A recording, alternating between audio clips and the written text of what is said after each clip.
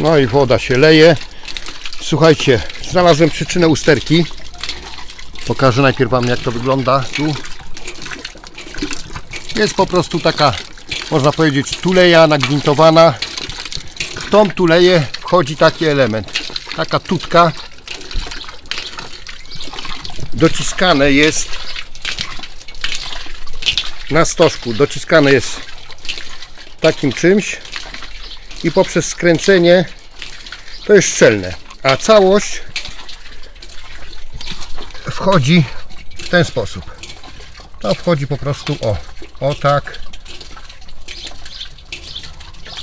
Tu jest z tej strony stożek, dociska tą tulejkę miedzianą i to stanowi wtedy szczelne zamknięcie.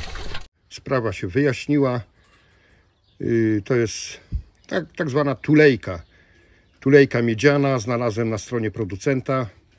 Jeszcze muszę tylko doszukać się ile to kosztuje, ale to jest w sprzedaży. Jutro do nich napiszę bądź zadzwonię. Kupię sobie od razu kilka takich, bo jeżeli ta jest taka skorodowana, to podejrzewam, że resztę tak samo. Także kupię sobie z, z 10 tych rurek od razu na zapas i być może od razu wszystkie wymienię. W każdym razie no, cieszy, cieszy mnie to, że to jest ta, tak błaha usterka, którą jestem sam w stanie usunąć. Cześć, zapraszam na kolejny film.